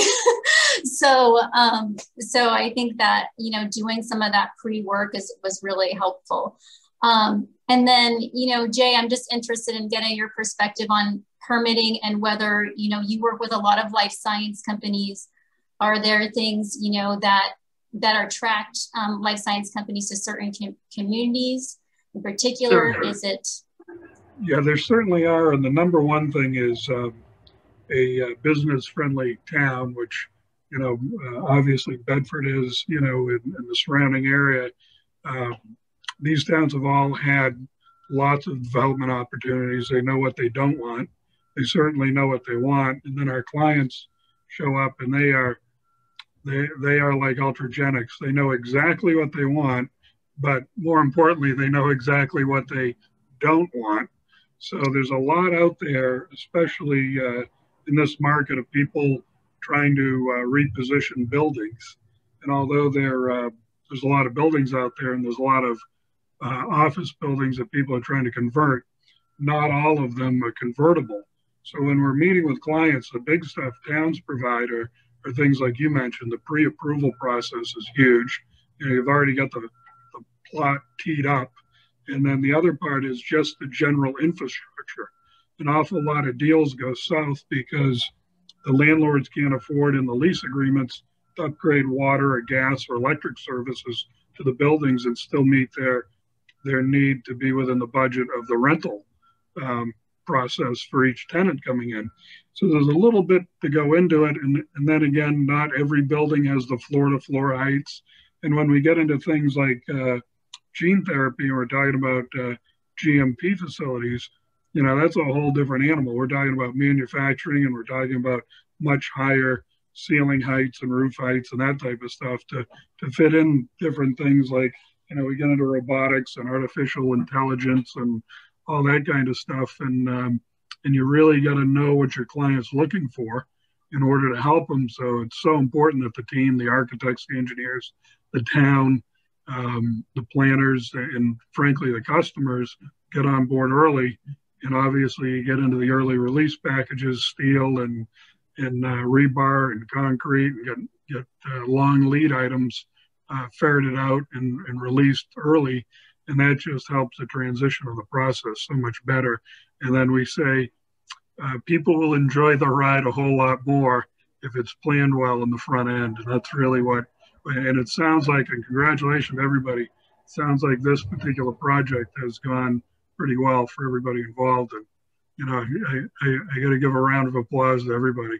Good job. Thanks, Thanks Jay. Jay. Elisa, uh, Jay, and, and, and, Scott also mentioned this that even with all that advanced planning, there were things that came up. You know, Bedford being part of the uh, the greater Boston area, it's an old part of the country, right? And so um, there were all sorts of strings attached, uh, unknown strings attached, dis- later discovered strings attached to the site because it was an old, old site. At one point, I thought that Scott was making stuff up, some of the things that was coming our way. But to their credit, they, you know, they had everything that was in their control. They had it all done in advance, as we just mentioned, and then they just jumped on any kind of issue that came up. We resolved them. But that's the difference, I think, between doing business here as opposed to the West Coast, is that they're much younger there and they don't have all those kind of property restrictions on on some of their parcels. Actually, that's a that's a really good point, and I kind of wanted to talk about that a little bit more too. Is um, Ultragenyx is a is a California company originally, and you know you're coming to open up a, a huge facility in Massachusetts. Um, what were some of the differences, or what do you see as some of the differences um, from California, you know, permitting versus Massachusetts? And I do remember there was some back and forth with California and just kind of getting a, a, some comfort level about some of the the permits and, in terms that we use here. So I'm I'm curious. I'm actually started my career in California as an assistant planner for city of Pleasanton. So I, I have some familiarity, but I'm just interested to from hearing from your perspective. Yeah, I think you know folks uh, within our company you know, they've had a lot of experience as well in a number of different areas. And it's not just California versus Massachusetts, it's really the community you're in in both those locations. And, you know, it, even here, some communities are better than others. And, uh, you know, in terms of stepping up and really helping facilitate this type of permitting process. So, um, you know, I think on the earlier call, um, you know, the community here um, and the number of different resources that are out there that are willing to step up and help, you know, through Mass Life Sciences, MassEcon. Um, you know, we were talking to a number of those organizations throughout. And, um, you know, I think from my perspective, uh, know, I benefited from the fact that I grew up here in the biopharmaceutical neighborhood in Massachusetts. Um, there, there, there is a lot of resource here. Um, you know, I'd say, uh, you know, all companies aren't created equal. You know, come with different uh, backgrounds and experiences and needs. And I, I, I, do think it sometimes it can be overwhelming because there's so many um, organizations that are willing to help. And um, j- just having kind of a, a single point of contact that's plugged in and that knows. And, you know, organizations like M3 and this one, you know, this exercise we're doing today, I, I, think build that over time and build that knowledge of, oh, wait, uh, you know, I learned about this organization that helps um, you know, companies do X, right? Because there's there's a lot of resource here. Um, I don't necessarily see that in the communities that we're in on on the West Coast. So, um, you know, sometimes it gets a little complicated, but there's a lot out there, and you know, having somebody to help navigate it, like yourself, Alyssa. um, and Scott, uh, you know, was really helpful to us. Um, yeah, I wanted to talk a little bit, you know, shifting gears a little bit, talking about sustainability and, um, you know, and how this project incorporates any kind of sustainable features. I know life science buildings in particular are, are large users of, you know, electricity, water, sewer, and just kind of thinking about what are ways that um, this project and Jay, you know, if you can chime in from a, you know, overall constructive construction um, perspective, you know, what are ways that sustain, sustainability is incorporated? Well, I think uh, when we look at the buildings today, and most of our clients today, in, in the state of Massachusetts, if you if you just follow the the regular building code, that'll get you to a LEED silver, right? So, and it and it's and it's important to most of our clients. Most of them want to be, you know, somewhere. You know, they all want to be platinum, but you know, nobody really wants to pay for platinum. So we get into LEED gold and LEED silver an awful lot. Um, the latest and greatest thing we see on sustainability and things like that is people are getting into well is another program that that has started. Um, that has to do with a healthy environment within the building and and uh, you know it, it kind of dovetails into LEED and sustainability and that type of stuff. And then the next level of that that has hit the market is uh, is called uh, Fitwel, and that incorporates a fitness component into your working environment and into your LEED requirements. So it's all serious business, and most of these companies that are out there, especially the high tech and the life science companies, are really dialed into this stuff. And the reason it's come to the forefront is, of course, you know, our millennial generation that that is now our workforce they don't want to work in a lab with one window and uh, four, five, six, seven, eight benches. you know, and you see daylight maybe maybe uh, for 15 minutes a day when you're writing out a report. They want to be able to see what's going on around them. So there's a lot of glass, those types of things, a much more open um, space. You know, obviously COVID isn't helping that. They want a much more modular space. They want to have huddle rooms and things like that. And, and all of that kind of builds a healthy environment to work. And so, you know, as you go through these these uh, plans we see and, and, the nuances to them. There's a lot more social area in these new lab buildings, a lot more light coming in, you know, and obviously that helps on the other side, the energy of the buildings and that type of stuff. And uh, all these buildings are getting much more energy efficient. And so, um, you know, there's a lot of pressure to have energy efficient buildings and that type of stuff.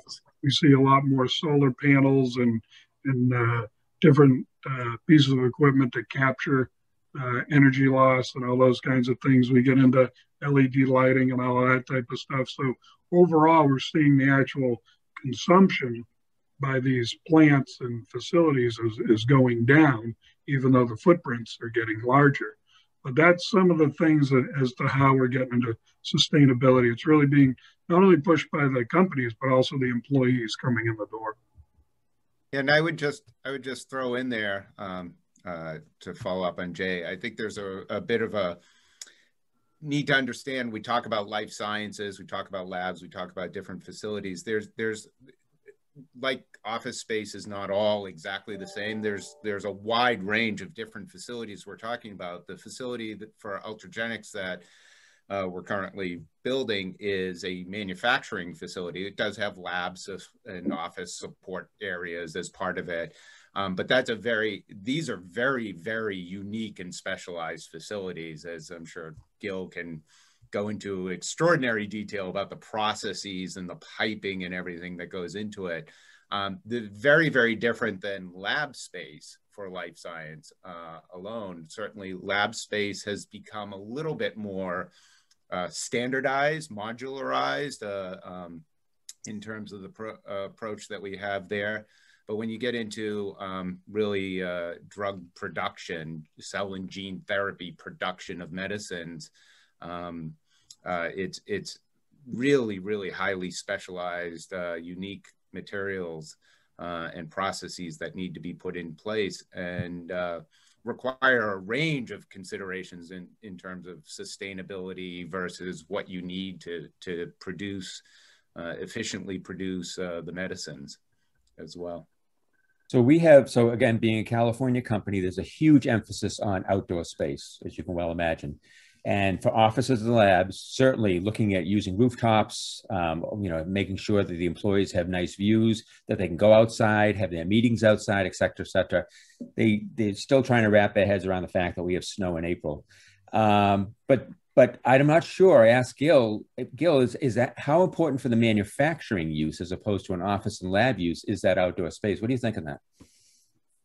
Yeah, yeah, I think it, it, it definitely is important to have these spaces that people can, you know, get outside. I think you mentioned it, you know, need to have some light. Um, and we wanted to have a facility that, you know, wasn't just a box that you make stuff in, that would attract and retain, you know, talent, key talent um, to make these critical medicines in, the facility. So um, those things are still very important to us, even though we are limited by our regional considerations there, Peter. So, but we uh, we did try to incorporate what we could in, into into the facility design to create some of these nooks and niches and spaces where people can come together. Um, we've you know found that it drives collaboration to a much better extent than if you didn't have these spaces.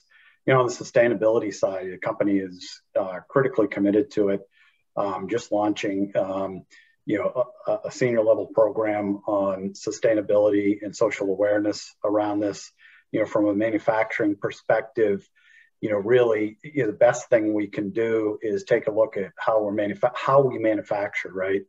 And it, you know, being part of the, the biopharmaceutical industry for 30 years, you know, we would have huge facilities with large stainless steel vessels making metric tons of material, right?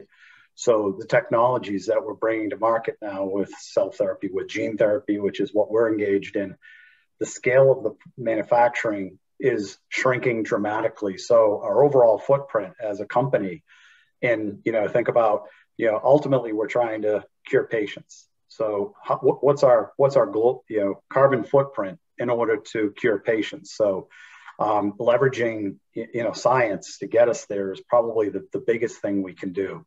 And a specific facility design, Jay hit upon it. You know, it, it's LEED silver is our base, and you know, first we what we have to do is make sure that we're designing the facility to meet you know safety requirements for the products that we're manufacturing there. Once we've done that, then we go after any and all technologies that are available to us today or emerging to help you know um, do that in an energy efficient manner.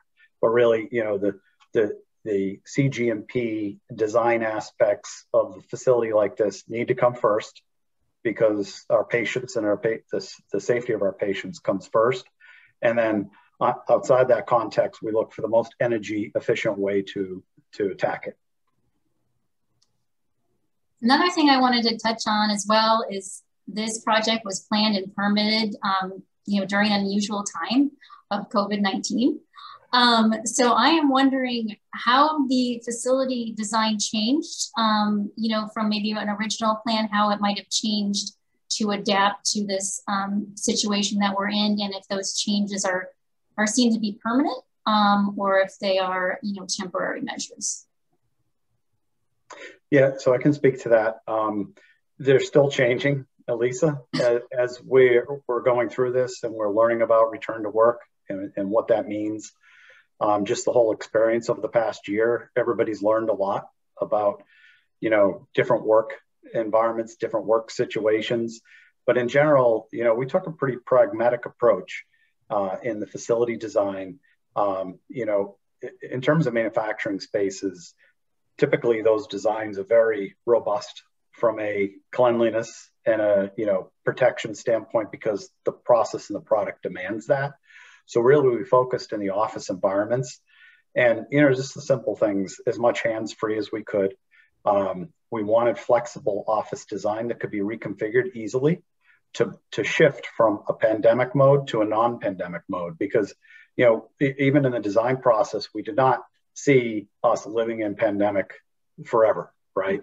So we wanted the ability to reconfigure and, and flex that space easily to what we were learning as well how do we manage our facilities during a pandemic? So we learned a lot as part of that and we kind of built that into the basis of design of the facility.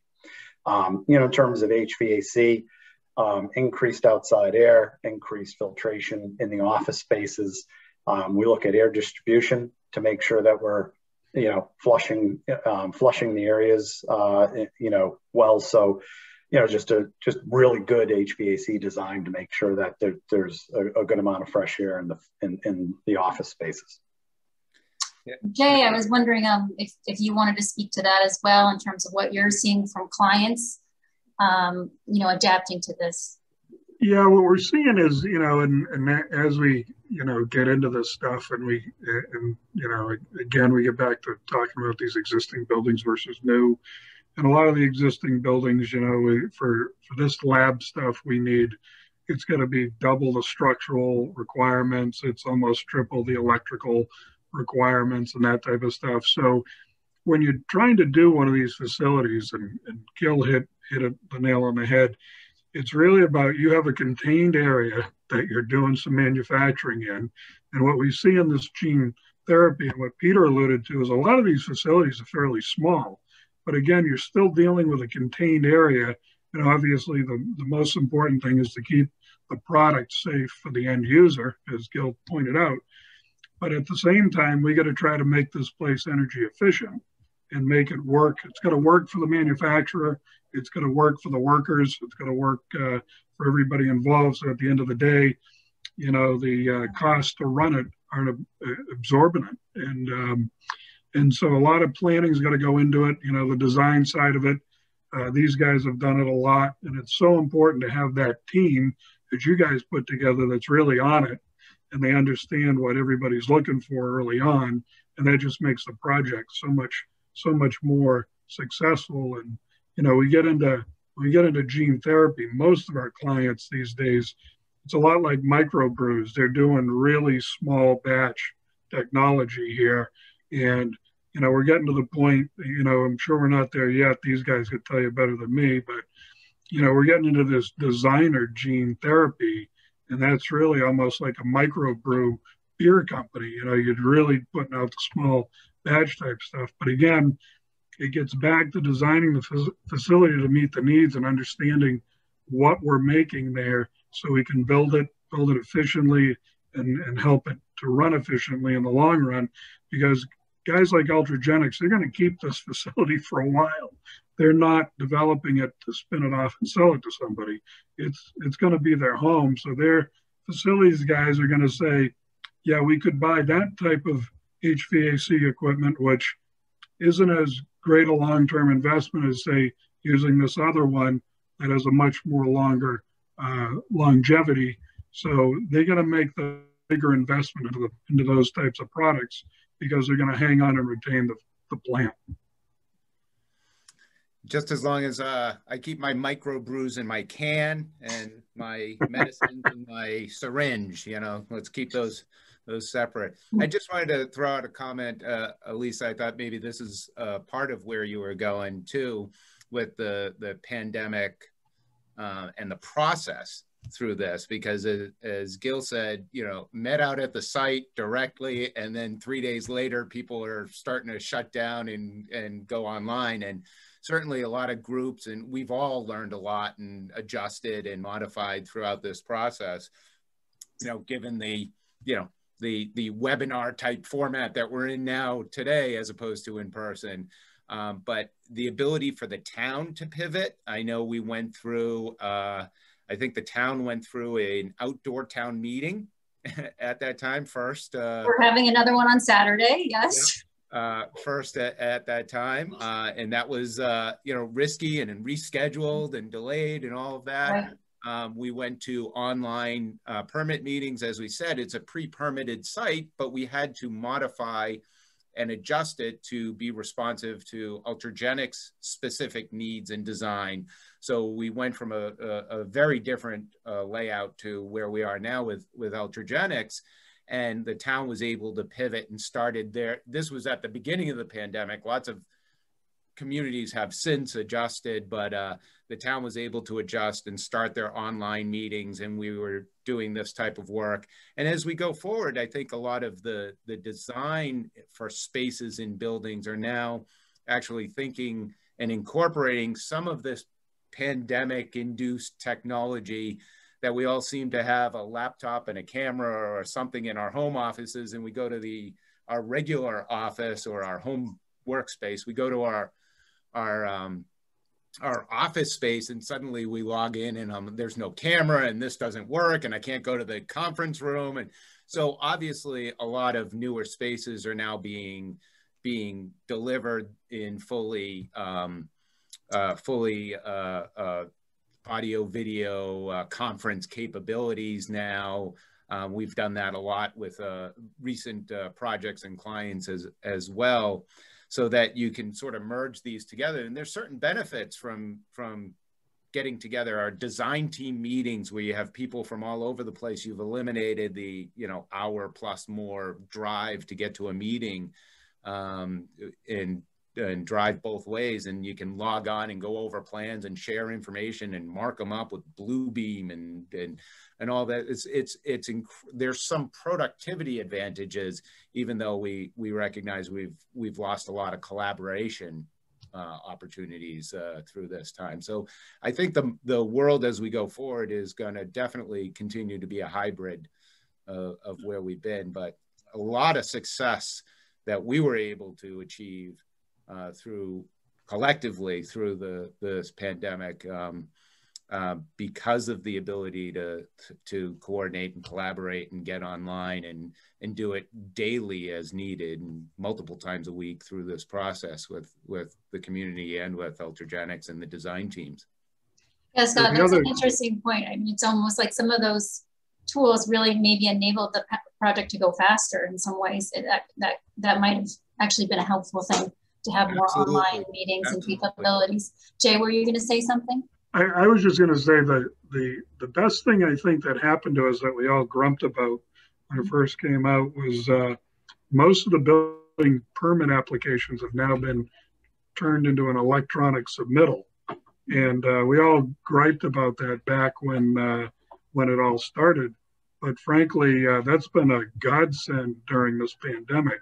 It's really helped everybody because, uh, you know, the plans were, were reviewed remotely by somebody at the other end of the Dropbox, right? So it's actually been very helpful for us.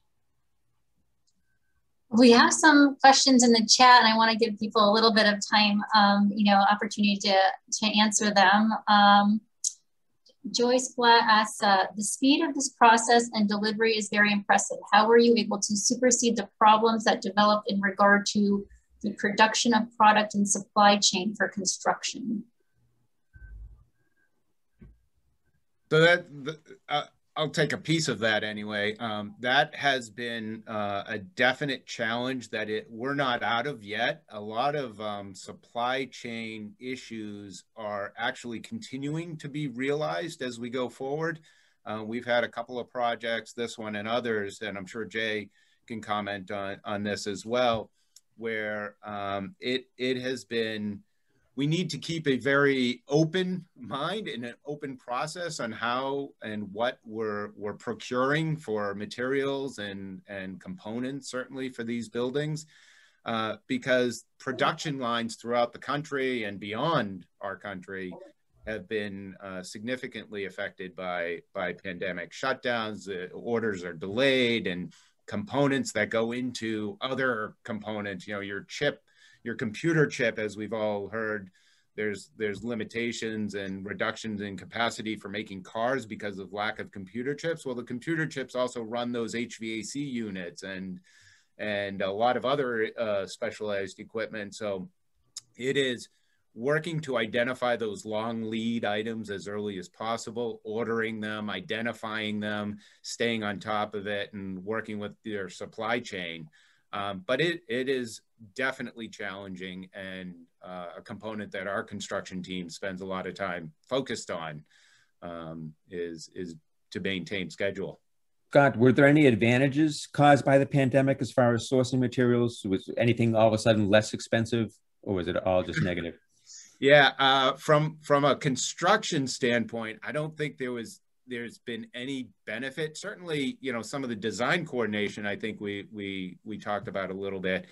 Um, but I think that the issues when the pandemic and the shutdown first hit, we had some projects that were underway. This one wasn't quite underway, and there was a lot of uncertainty. And we were able to lock in some things and get deliveries on things that uh, some projects stopped and others were continuing to able to, to move forward. And that was good the the delayed production i think is actually just coming more to light now as as the economy is getting a little bit more robust and projects are certainly underway and there's more growth and there's a lack of supply so i think the the potential uh, lack it's it's sort of equivalent to as we reduce restrictions and restaurants get back to to uh, serving more people, there are fewer servers and cooks and chefs and everything available, and that's where we're in overall into the into the uh, supply chain at the moment. There's just less material out there and a lot more competition for it. So, unfortunately, I haven't seen the bright side yet. A lot of pricing is going up. Uh, lumber three times what it was, and um, yeah, I, I think the only uh, the only upside to production is toilet paper is back on the shelves at the supermarket. But but it, to add on to what Scott had to say, uh, right now we you know we're running into a bunch of stuff. You know, prices are climbing. Wood, if anybody hasn't double hasn't noticed, is uh, just dimensional lumber alone has doubled. Plywood has gone up about 600% practically in uh, some different products, but we're also having a struggle with drywall deliveries um, insulation is becoming a problem, and and even a strange item you wouldn't think would affect the construction industry. There's no fly ash for, for concrete fillers and that type of stuff. There's a nationwide shortage of fly ash, which is kind of an odd one that people don't think of, but that, that has a direct effect on, on concrete and how it affects the concrete. If you're doing mass pours, fly ash is what helps keep the uh, temperature of hydration down. And so now they're using different products and it's not as good a product to help keep it down. So there's a there's some oddball things out there too, but in general, most stuff has gone significantly up in price. I have another question from the chat. Um, as Ultragenyx is a California-based company, will Ultragenyx and Gutierrez consider decarbonization as part of the design process by minimizing steel and concrete high carbon dioxide producing materials, for example, to lessen the carbon dioxide into the environment? Will Ultragenyx and Gutierrez consider net zero carbon as a goal or even consider to help the fight against climate change?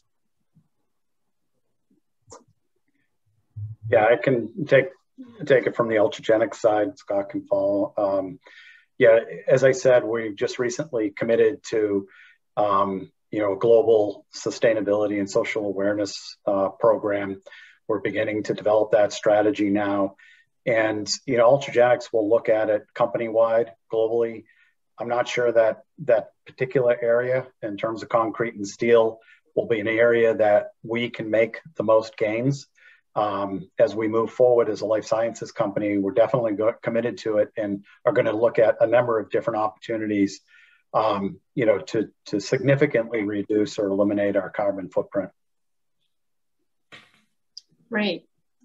Yeah, and um, I I think just to add on that, you know, specifically and directly on on on steel and concrete, um, there are definitely uh, challenges at the moment in in realistic replacements to those to those products. So what we seek to do is is um, provide a more environmentally sustainable approach to locally source steel production uh, as as as best as we can, and and to be able to um, you know consider alternative filler products like uh, Jay was mentioning uh, for concrete and the like, so that you can minimize the carbon footprint. But I don't think uh, we're yet at a, in a position where we can fully just eliminate them from from uh, um, uh, a commercial building project. Yeah, and if and if there are any other participants that want to throw questions in the chat, you can do so now, and we can try to pick up um, as many as we can. There was a comment here about how and when the site plan approval process fit in for a pre-permit 43D scenario.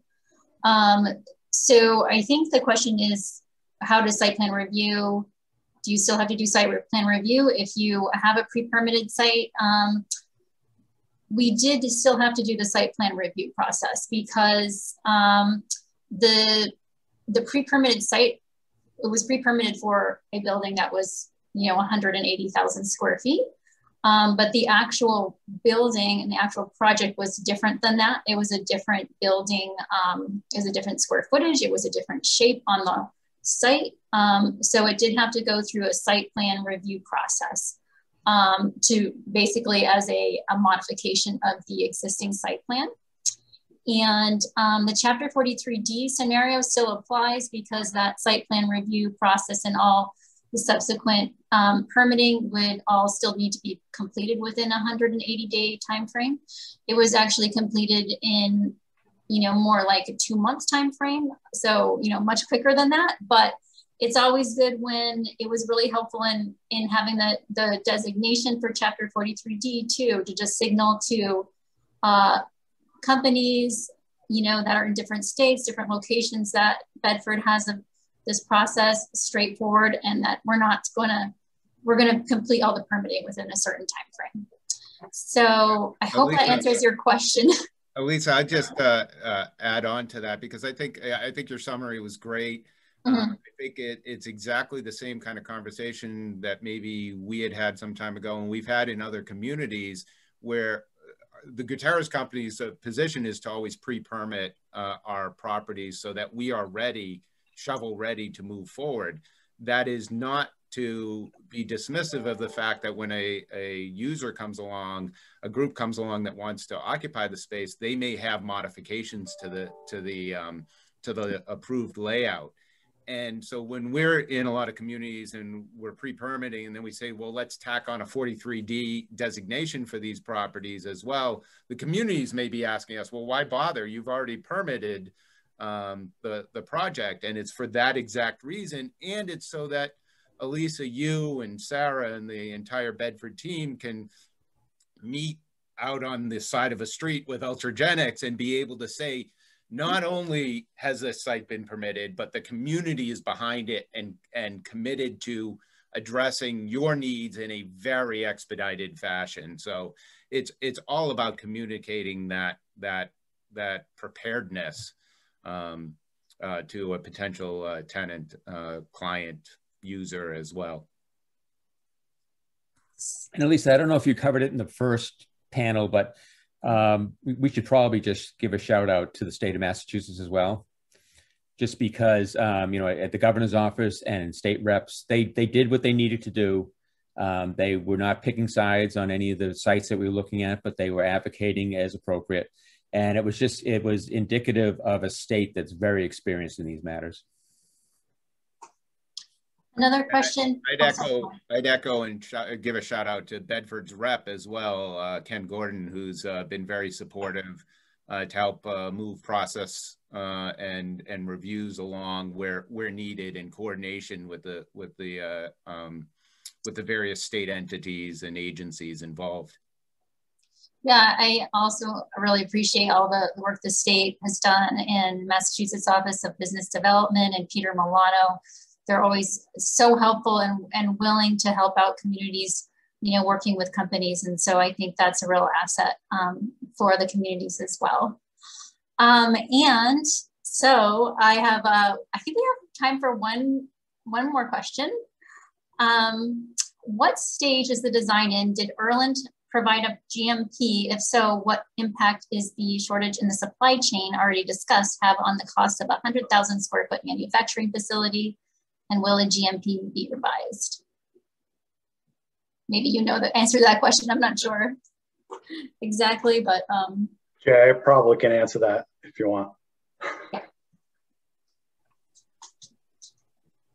Yes, please. Yeah. Just from the, this specific project, um, you know, we, we did a design assist approach, uh, early engagement of our major trade partners in advancing the detailed design um, so what we did is we awarded um, uh, lump sum bids for the design and long lead material purchases um, back several months ago.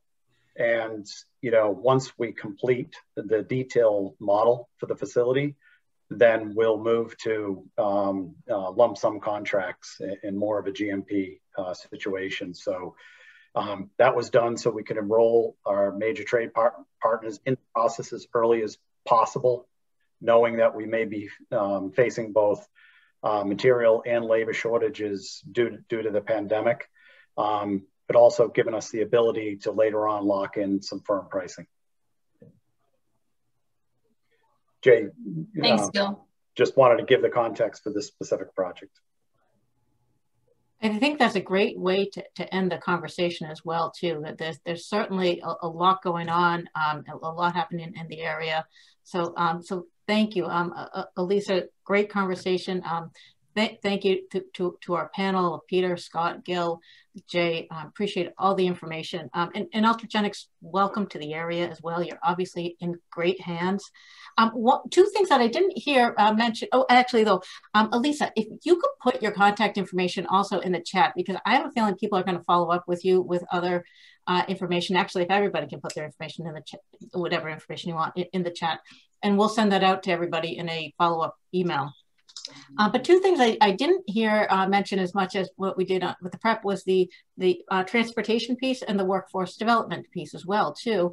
Uh, but I think when you guys get to those parts, you'll be reaching out to Alyssa as well too, and hopefully she'll mention the Middlesex 3 TMA and the shuttle service that we have. As, and I know you're working with Middlesex um, Community College as well too.